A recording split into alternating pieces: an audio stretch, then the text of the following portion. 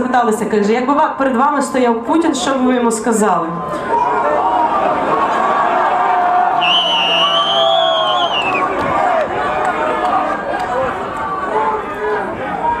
Ну, в принципі, ви все сказали за мене. Тоді я сказала англійською мовою, е, оскільки я була тоді в Вашингтоні, я сказала Don't touch my country, I'm strong enough. Ми набагато сильніші, ніж ти думаєш, і ми ніколи, ми ніколи не віддамо свою країну. Що би я сьогодні сказала Кремлю? Що би я сьогодні сказала Кремлю і Путіну Кремлавала? Я би сьогодні сказала наступні. Чекайте, послухайте. Я, я, ні, я сама співаю. Знаєте, скільки разів я заспівала ла-ла-ла? На концерт, а в прямому ефірі не хочете? І, і я вам хочу сказати, що сьогодні я би Кремлю наступне сказала.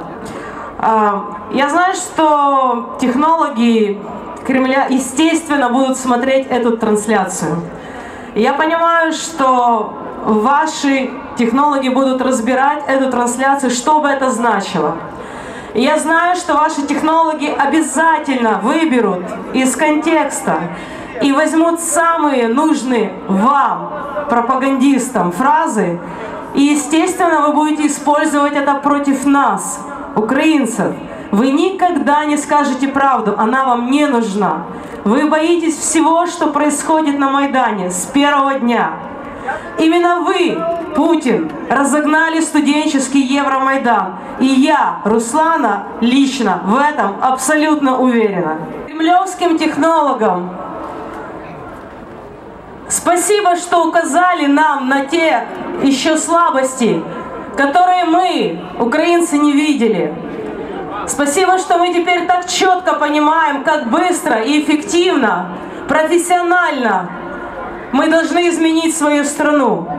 И мы это сделаем. Смотрите эту трансляцию, потому что здесь, именно здесь рождается сейчас настоящая Украина, о которой вы даже не подозреваете. Слава Украине!